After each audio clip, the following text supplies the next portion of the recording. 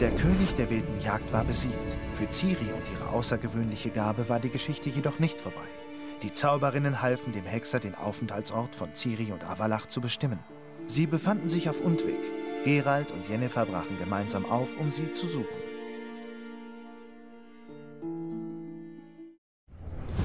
Jo Freunde, weiter geht's mit einer neuen Folge, mit wahrscheinlich dem letzten Part, beziehungsweise einer von den letzten wird es auf jeden Fall sein, denn ja, Ciri ist anscheinend irgendwie in dem Elfenturm gefangen mit Avalach zusammen. Der alte Zigeuner hat uns betrogen. War klar, Elfen kann man nie vertrauen. Und werde ich jetzt mal abchecken. Auf jeden Fall sollte ich vielleicht mal ein paar Tränke auffüllen. Was natürlich jetzt in dem Moment nicht machen, machbar ist. Dann scheiß drauf. Wir packen uns jetzt mal den Zigeuner. Und dann bin ich gespannt, wie es weitergeht.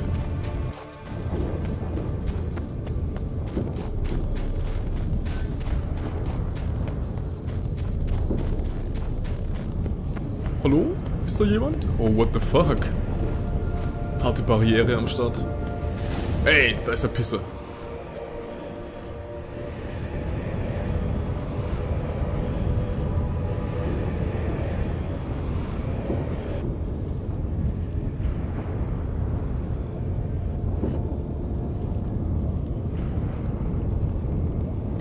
Gerald, wie bedauerlich. Ich hatte gehofft, dass du dies nicht mit ansehen musst. Wo ist Ciri? Ganz nah. Hör zu. Sei still. Mir reicht es mit deinem Scheißdreck. Zieh die Waffe, bringen wir es hinter uns.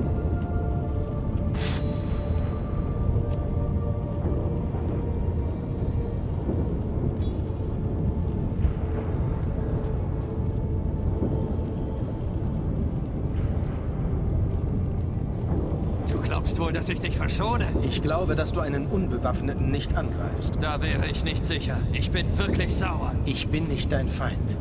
Ich helfe Cyrilla doch nur. Ich glaube dir nicht. Kann ich nicht. Nicht nach all dem. Glaubst du denn mir? What the fuck? Avalach sagt die Wahrheit.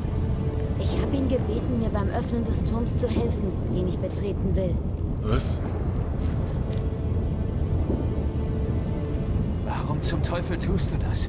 Die wilde Jagd ist besiegt. Die weiße Kälte aber nicht.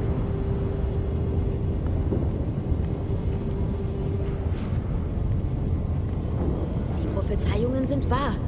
Ich habe Welten gesehen, die in Eis gefesselt sind. Ich weiß, was euch erwartet. Nur das ältere Blut kann die weiße Kälte aufhalten. Nur ich kann es.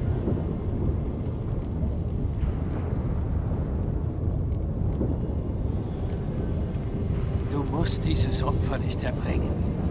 Da liegst du falsch. Die weiße Kälte ist unvermeidbar. Sie wird die Welten einfrieren, eine nach der anderen und alles Leben vernichten. Mach keinen Scheiß, Mann. Nur ich kann die Zerstörung verhindern. Ich habe lange darüber nachgedacht. Mein Entschluss steht fest. Es muss einen anderen Weg geben. Was weißt du schon vom Weltenretten, Dummkopf? Du bist ein Hexer.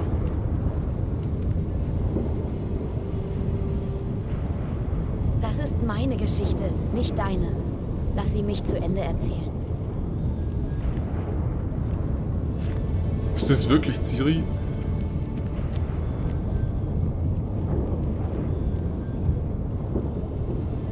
Ciri, ich verbiete es. Du kennst mich. Ich mag nichts lieber, als Regeln zu brechen. Hiermit brichst du mehr als nur eine Regel. Es mir leid. Puh.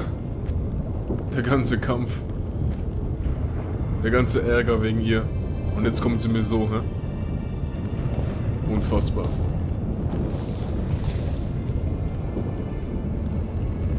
Die hat doch Gehirnwäsche gehabt, ey. Das kann ich nicht glauben, Mann. Was geht?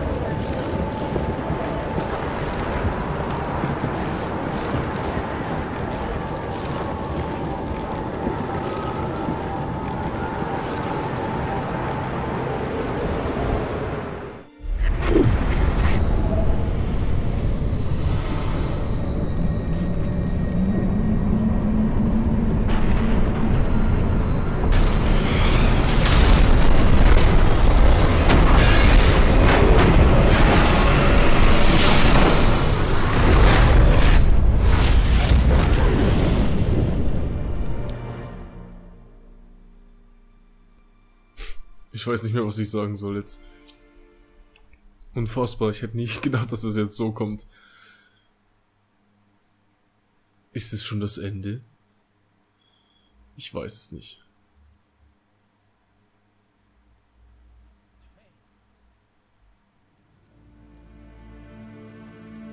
Zwei Wochen später.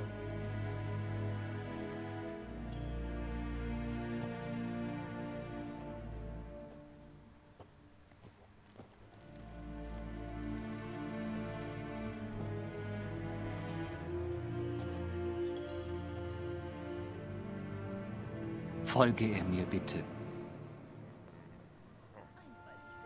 Folge er mir bitte.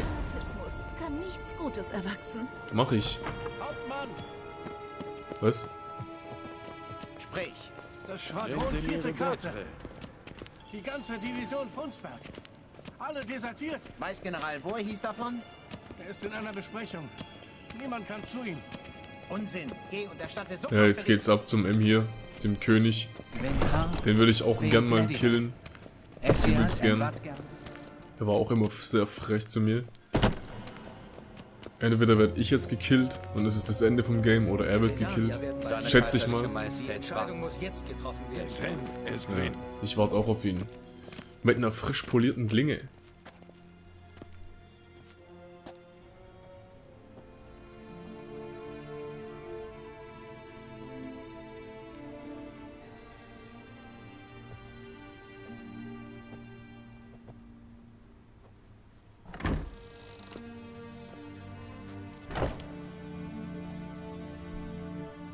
Sprich, Ciri ist tot. wie ist das passiert? Die weiße Kälte. Kennt ihr die Prophezeiung? Ciri wollte sie aufhalten. Das hat sie auch, aber den höchsten Preis gezahlt. Wo ist Ihre Leiche? Ich glaube nicht, dass sie jemals gefunden wird. Wer weiß noch davon? Avalach, der elfische Wissende. Aber auch ihn werdet ihr nicht finden. Und Jennifer? Sie will im Norden bleiben, wenn ihr nichts dagegen habt. Habe ich nicht. Und du?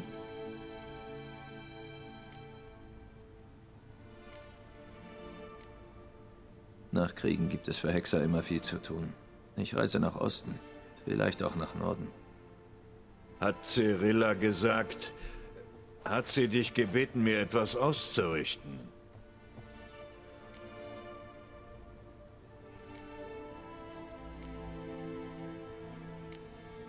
Wir haben nicht über euch gesprochen. Ich verstehe. Wenn es sonst nichts mehr gibt, Doch, eines noch. Aber du kannst gehen. Hexer, ich will dich nicht mehr sehen. Nie wieder.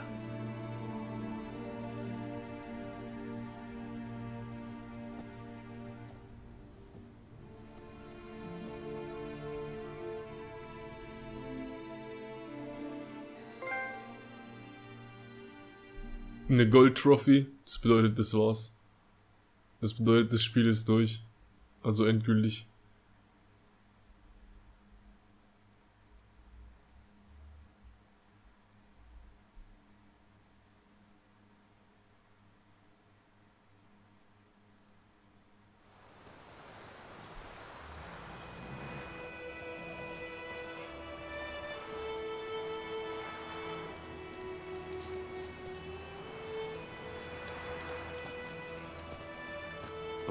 Hilfe mit eurem Wagen? Äh, nein. Das ist eigentlich nicht direkt unserer, eher ein gekapertes Fahrzeug. Beute, könnte man sagen. Die Leute haben ihn offenbar in der Eile zurückgelassen. Wohin sie geeilt sind, weiß ich nicht. Aber es wäre doch eine Schande, wenn er den Roten in die Finger fiele. Veränderung liegt in der Luft. Man gewöhnt sich dran. Jetzt sind die Schwarzen weg. Da werden die Hexenjäger bald eintreffen. Aber das Leben geht weiter. Wir müssen das Beste draus machen. Wie wahr? Also, an die Arbeit, bevor uns die Nacht überrumpelt. Wird Zeit, dass ich aufbreche. Viel Glück. Wohin willst du? Zur nächsten Taverne, wie du aussiehst. Ja, aber erst habe ich noch eine Verabredung. Beim ehemaligen Lager der Nilfgaarder. Bis dann. Okay. Anscheinend habe ich wohl noch eine Verabredung.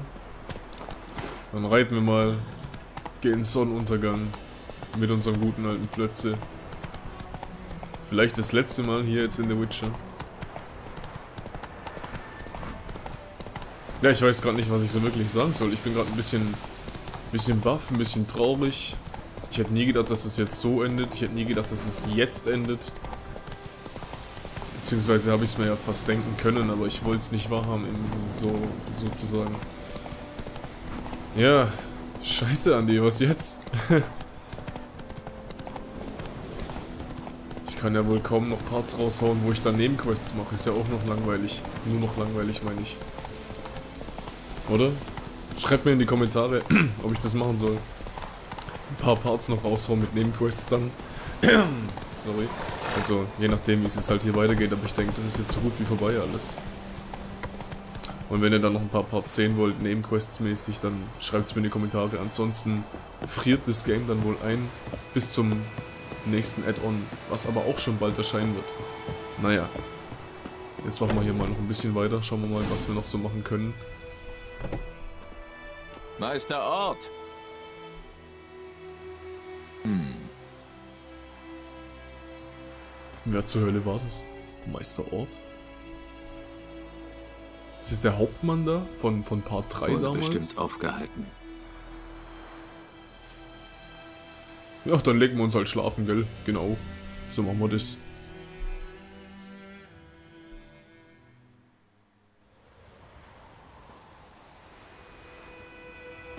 Du bist spät dran. Die Soldaten. Blockieren die Straßen, ich weiß. Schon gut. Hast du es dabei? Wie vereinbart. Die Klinge ist knapp einen Meter lang, wiegt beinahe 40 Unzen. Mit Silber beschichteter Sideritstahlkern, Glyphen und Runen entlang der Klinge und am Heft. Wunderschön. Ich bin seit 30 Jahren im Geschäft. Nur die größten Schwertmeister können sich meine Waren leisten. Du kannst mir glauben, wenn ich sage, dass kein Hexer je eine bessere Waffe hatte. Dein Ruf eilt dir voraus, Meister Ort. Ich würde niemals an dir zweifeln. Die Inschrift, so wie du sie wolltest.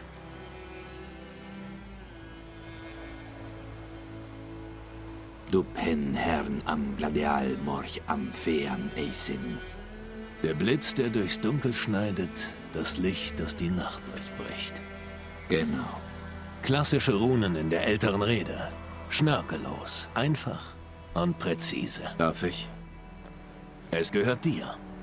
Wenn du es ausprobieren möchtest, meine Helfer haben eine Trainingsfigur aufgestellt.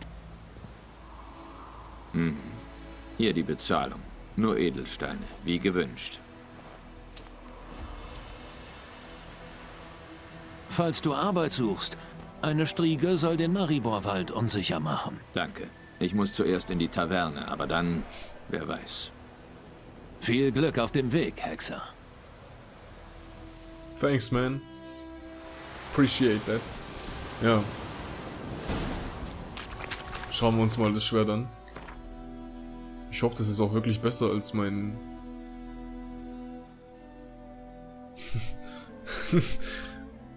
Lol. okay, es ist einfach nur ein Relikt. Ja. Äh. Hm. Okay. Dann kommt es wohl direkt an meinen Wandschrank. In meinen Wandschrank natürlich. Neben der Pulle Bier.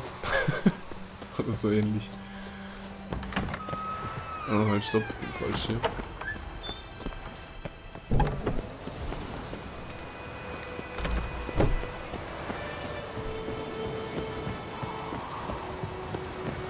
Ja, ich warte ehrlich gesagt noch auf den Abspann hier. Und sobald dann der da ist, weiß ich auch zu 100%, dass das jetzt der letzte Part gewesen ist. Auf jeden Fall mit den Hauptstories.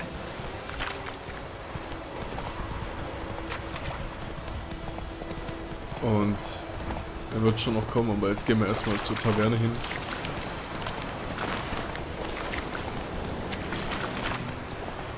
Eigentlich ein stumpfes Ende, wenn ich bis jetzt mal so sagen darf. Ciri geht ihren eigenen Weg, okay, das war ein bisschen absehbar, dass sie sowieso immer ihr eigenes Ding macht. Aber dass sie dann in so eine Welt geht, wo sie nicht mehr zurückkehren kann und dann verreckt. Ach was, Alter, echt? 68 Parts und das ist dabei rausgekommen? Die ganzen... Mann, Plätze, Alter. Die ganze Zeit Ciri befreien und dann verreckt sie? Das ist doch scheiße, Mann. Ich glaube irgendwie nicht ganz, dass sie verreckt ist. Ich weiß auch nicht, irgendwas sagt mir, dass sie nochmal auftauchen wird. Wobei Gerald hat gesagt, sie wäre tot, also... Schwer zu sagen, wirklich schwer zu sagen, was jetzt da Sache ist. Beweg dich! Es geht hier, bereiten Sie sich halt auf, auf, Krieg vor. Was jetzt? Äh.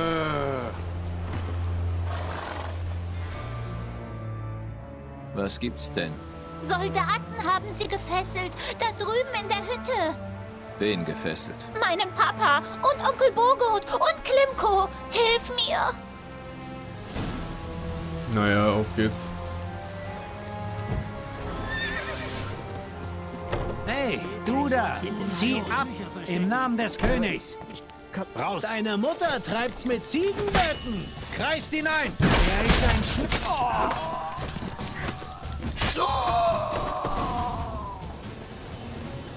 Das war's? Ja, scheint so. Ach, die Taverne kenne ich auch noch, oder? War das die? Ich muss kurz mal schauen. Das kommt mir bekannt vor hier, dieses Gemälde. Könnte sein, dass es einer von den ersten Parts mal gewesen war, wo ich hier war. Naja, ist auch egal.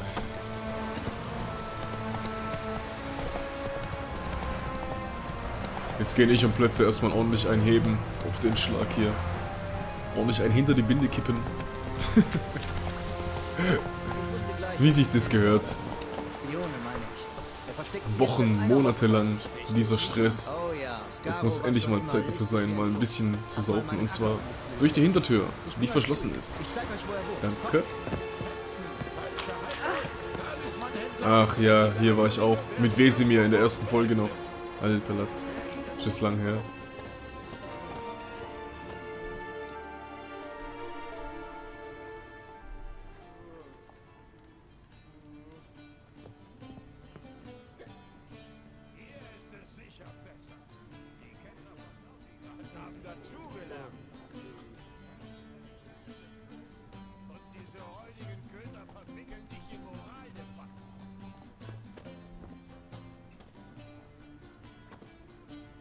Who's that bitch, man? Ach was, ich Ist wusste. erledigt? Ja. Hat er dir geglaubt?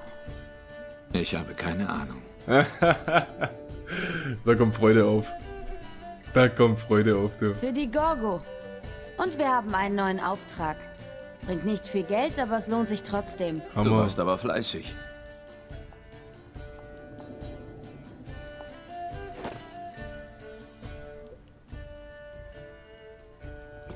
Wobei sie ja jetzt andererseits auch wieder, auch wieder verdeckt Ein leben muss. Hexer Silberschwert. Ist auch blöde. Gefällt's dir? Es ist wunderschön. Aber so gefällt mir das Ende besser. Hier. Du wirst bald genug Gelegenheiten dazu bekommen, Hexerin.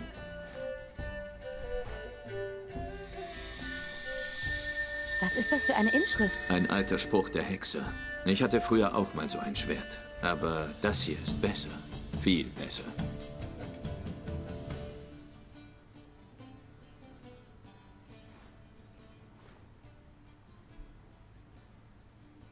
Lass es uns ausprobieren.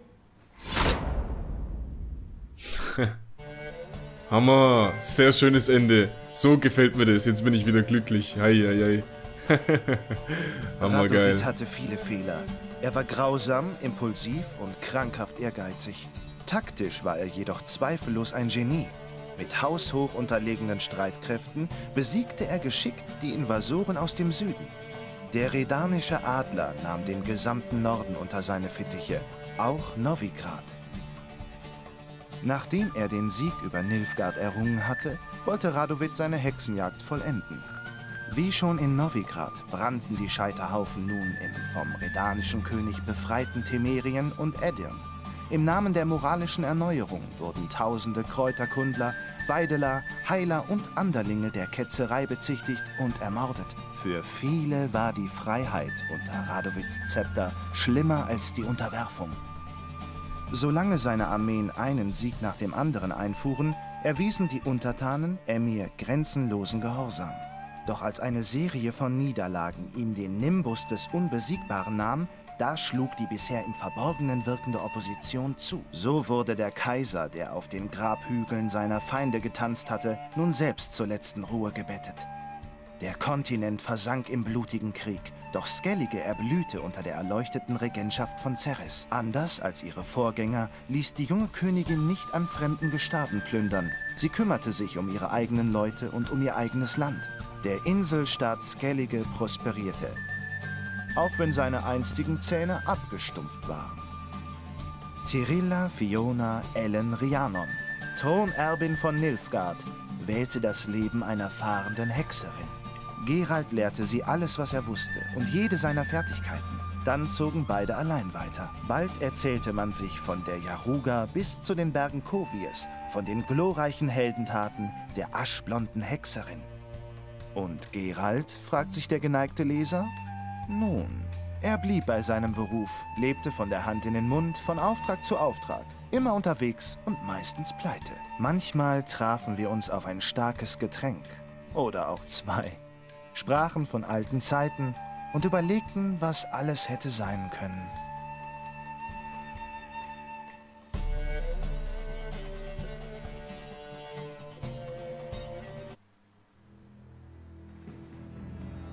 Hm.